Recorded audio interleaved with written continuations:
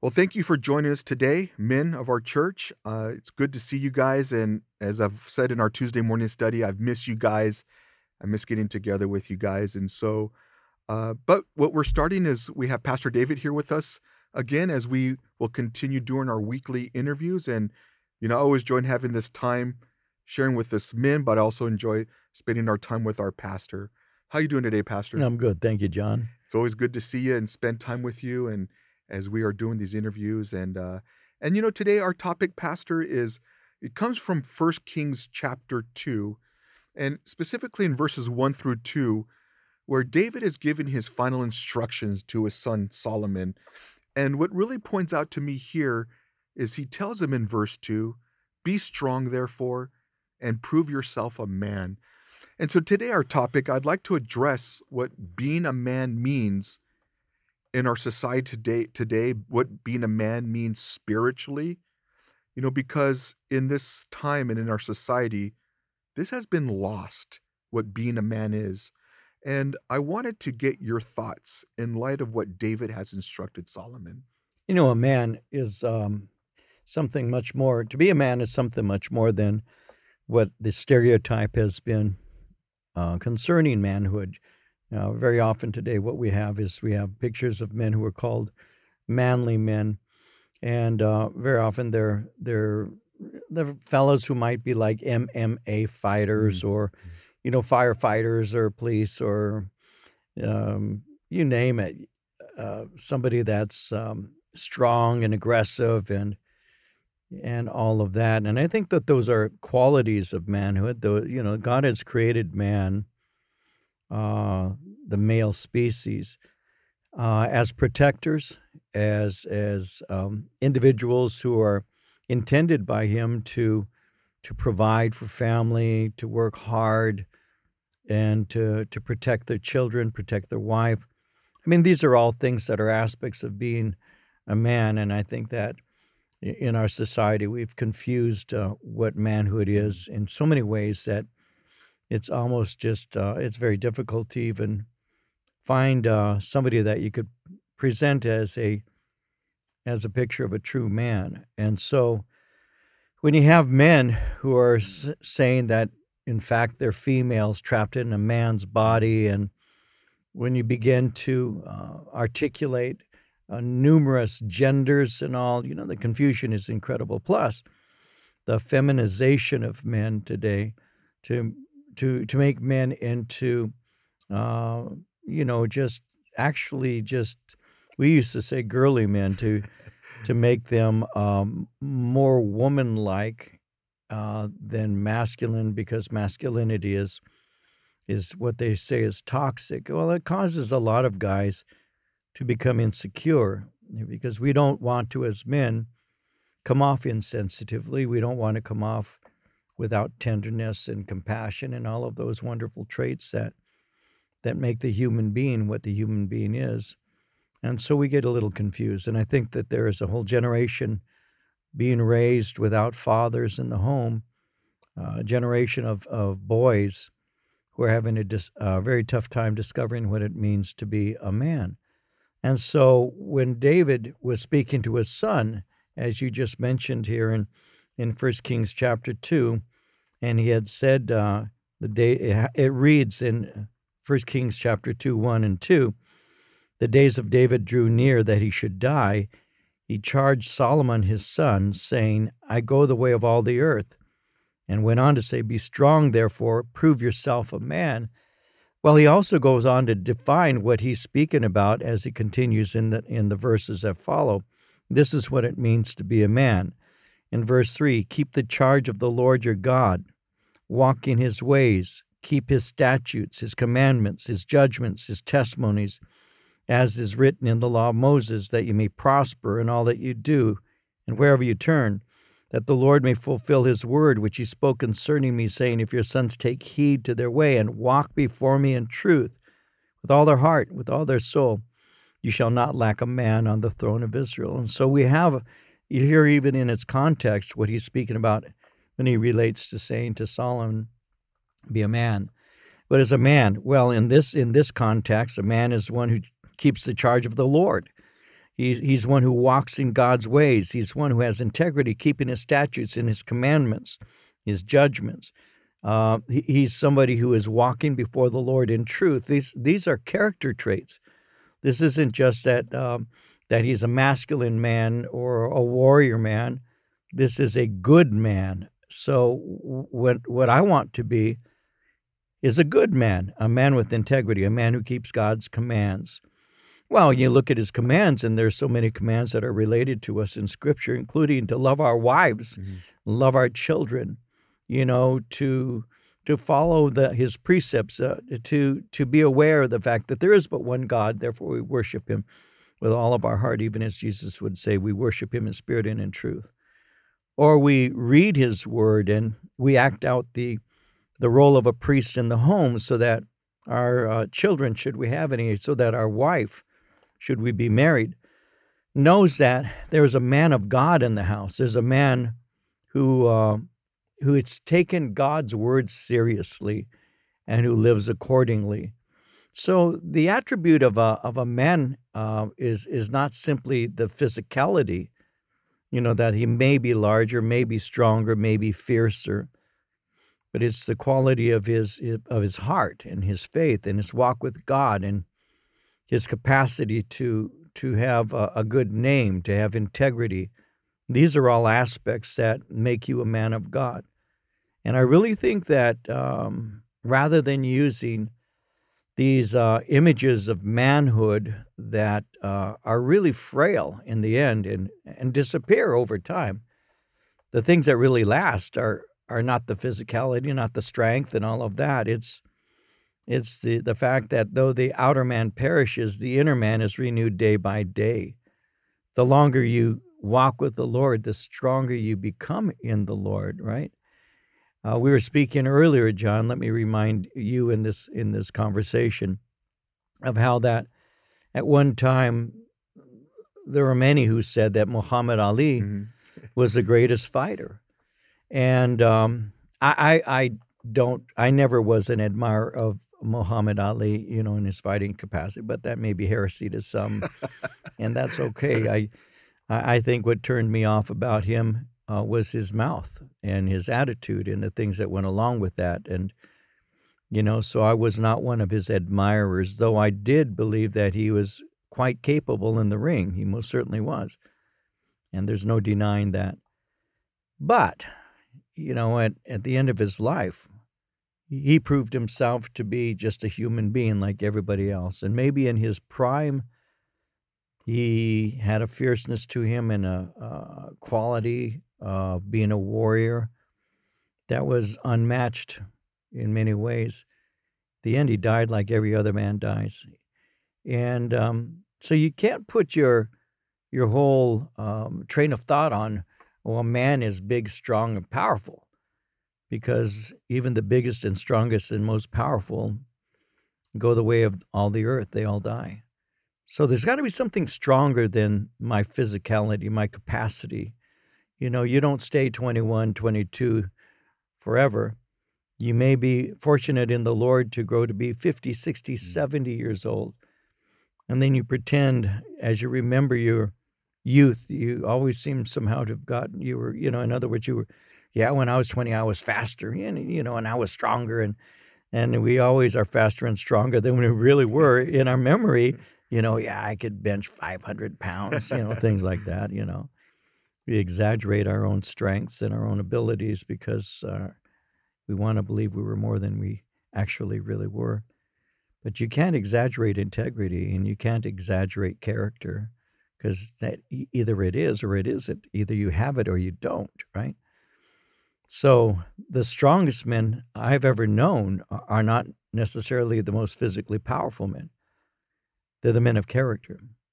When you look at men like uh, like Samson in Scripture, and nobody would uh, would uh, debate, at least in the Bible, nobody would debate that he of all human beings outside of Jesus himself was the most powerful, mm-hmm. and he most certainly was. But he also had his tremendous weaknesses, and he wasn't sold out to God. And he ultimately ended up blind and a slave of the Philistines. And he ultimately ended up dying by his own hand even though he slew many of the of the Lord's enemies while doing so. So physicality, strength like that is is to be wondered at, but it certainly isn't what God has called each one of us as men to have. He's called us to have character, to be loving and gentle, to be caring and considerate, to be compassionate, while yet remaining strong enough to handle the difficulties, to, to be the kind of man that, that a woman admires, to be the kind of man that other men can look up to and say, I want to I want to be like that. I, I I want what he has. That's how I felt about my own Pastor Chuck. That's how I felt about my own father. My dad was was my model. My dad got up in the morning and put his shoes on like every other man, but he did it every day regularly, Monday through Friday.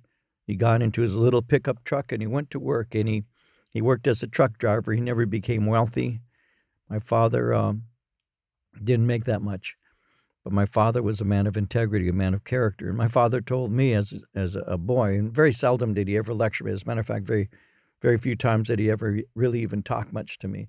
He was very quiet. But I watched him and my mom would tell me things about my dad, and they were true. My mom would say things like, Your dad will not eat if he has a bill to pay. Mm. And that was true. That, that's, that's absolutely true. We had what people today would throw out and call scraps. And those were our meals very often because my father wasn't making so much that he could throw away food. My dad was making enough to pay his bills, take care of my mom's medical bills, and to make sure his children had had some potatoes and some cheap cuts of meat, and uh, on occasion, even have some um, ice cream. That was my dad. But I learned from my father. I, I, I learned that working hard has, is, is a reward in and of itself. To be able to put food on a table, take care of your children, to be respected by your wife, and to be respected by, by other people, other men, and even to be admired by by by my mom's friends who admired and loved my dad. That's what I wanted to be when I grew to be a man. I wanted to be like my father because he worked hard, provided. He had honesty, integrity. His his name meant something. He told me that. He said, "You know, son," he said, "take care of your name." He said, "Take care of your reputation. Be a man of integrity." You know, be honest. My dad, my dad was that man. Now that's not strength. You know, that's not picking up 400 pounds, and that's not running through, uh, you know, with the ball through 11 powerful men and scoring a touchdown. That's a guy who just put his shoes on and went to work. That was my dad. And so, you know, when David was speaking to Solomon, Solomon, you're the king. You, you know, I'm handing you what was given to me you know, and uh, David was a warrior. But he didn't say to him, Solomon, pick up a sword and fight. He said, walk with God, keep his statutes, keep his commands, you know, do, th- do the things that God says to do, and you'll be a man. Mm. And so that's a man. A man is somebody who's walking in faith, loving God with all of his heart, and leading his family in the ways of the Lord not relying on the wife to give the devotions to the children at night, not relying on the wife to say the prayers with the babies before they go to bed, but doing it himself, you know, um, opening up that book himself and living that book in front of those children. So they say that my father, my father was someone who not only told me what to do, but my father showed me what to do. Now that's a man. Mm. And that's basically what uh, I would say that that David's commanding his boy. That's amazing. Even as as uh, you're you're sharing that, I'm thinking, you know, we we we hear about David's mighty men. We read about it. We read about warriors. But what you're explaining, at least to me, that's what a warrior is. Fighting Absolutely. for your family, providing for your family. And uh and as men we can we can we can, our goal is to become that type of man by what David is saying here to Solomon. You know, Pastor, as as uh, you know, you're explaining the qualities and the characteristics of a man, and it's not based on appearance. It's based on what it's spelled out here in First Kings chapter two. You know, and and as men, we need to rally together. We need to lift each other up in prayer. We need to lift you up in prayer, uh, other men, and and follow these instructions as David gave to Solomon. But you know, one of the questions I have for you is is we see things like this, a crisis like we're going through right now in our in our nation, and and and we see our nation rallying together. We see people coming together. Uh, we see churches are growing, whether online or in, you know in house, and and people's their their walk with the Lord seems to strengthen.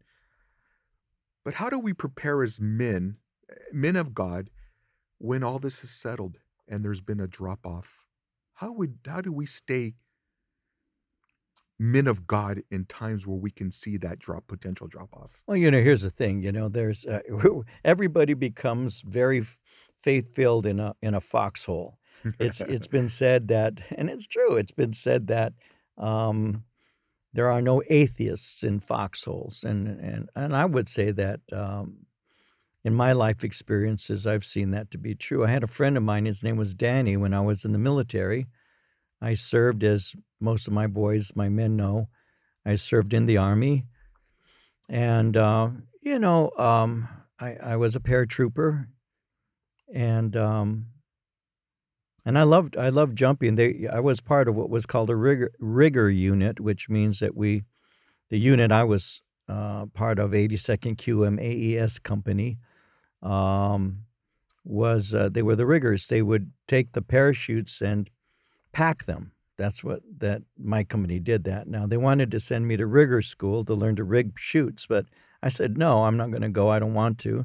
And they needed a truck driver in my um, in my um, where I was stationed. They needed me to drive a truck, and that's what I did. So I never went to rigger school, but um, I spent uh, 18 months.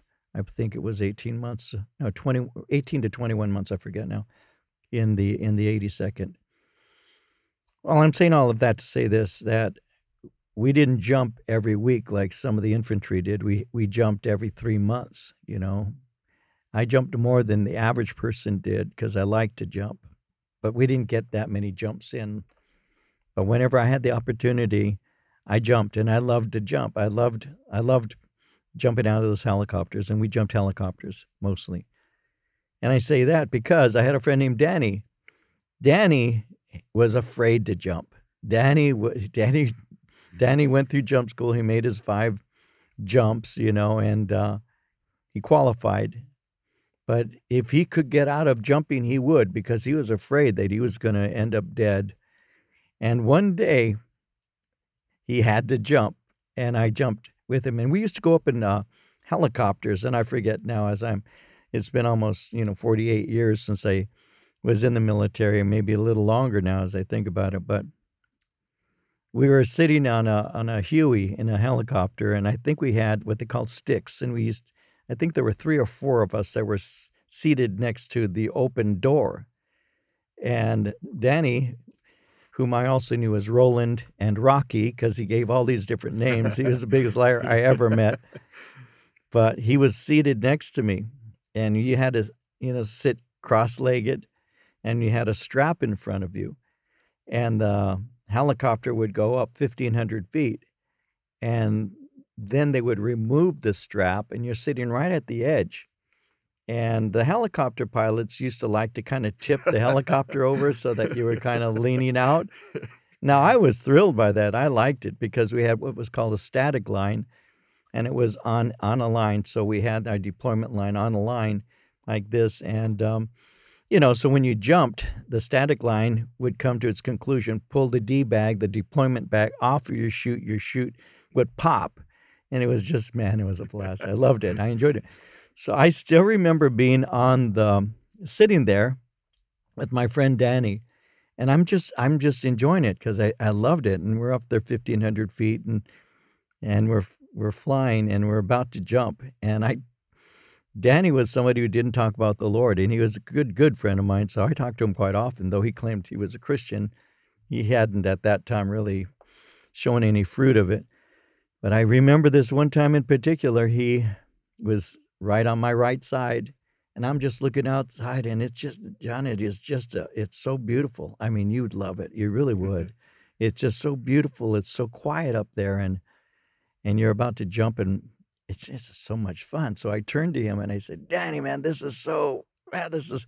His eyes were shut as tight as anybody I've ever seen. I mean, you know, that real, real tight closed eyes, and his mouth was moving so fast. Oh, God, help me. Oh, God, help me. I'll never forget that. I started busting up man, because there are no atheists in foxholes, you know?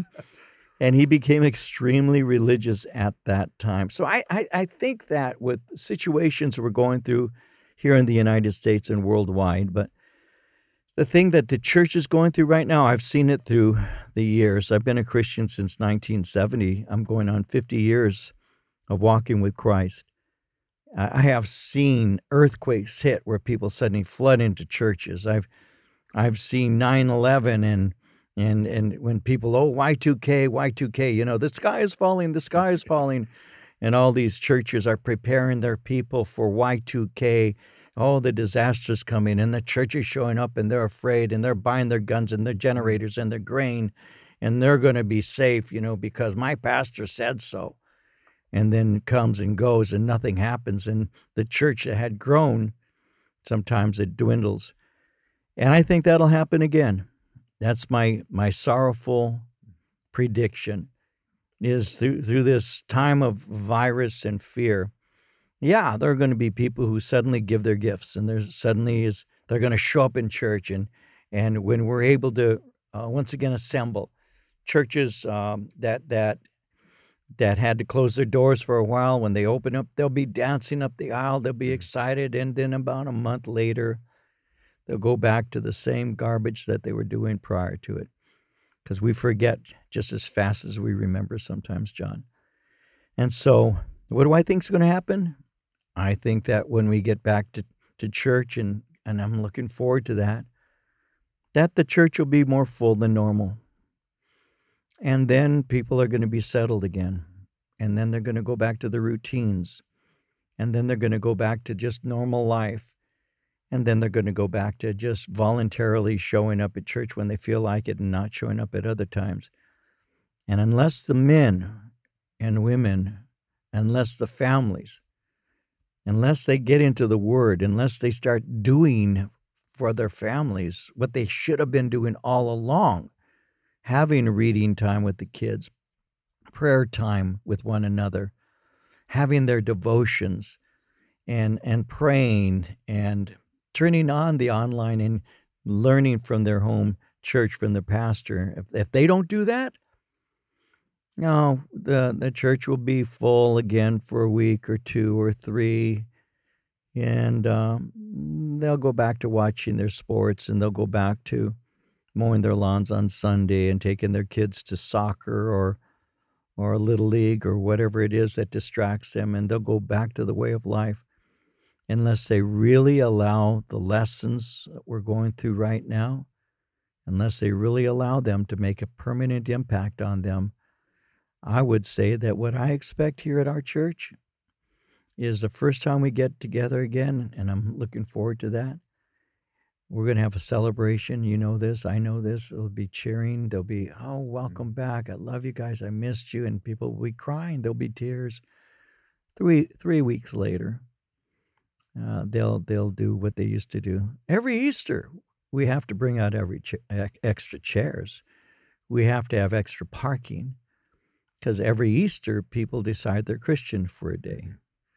And my encouragement to the men who are listening to us right now, my encouragement is is change for good.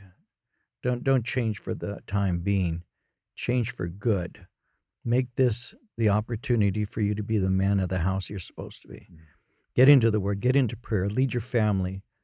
Monitor them. They're on the they're they're on their um, iPhones and the iPads and they're watching garbage. You're allowing it. Monitor them, restrict them, spend time with them, talk to them, take them outside if you have to, visit with them. Be careful to to to capture these moments and use them for good and change the direction that your family's been going. Be the man of the house. That's what I'd encourage you to. Men, you heard this exhortation by our pastor. And Pastor, thank you again so much for your time. And uh, men, We'll be joining you next week, and we look forward to visiting with you again. God bless you. Thank you, Pastor. God bless you.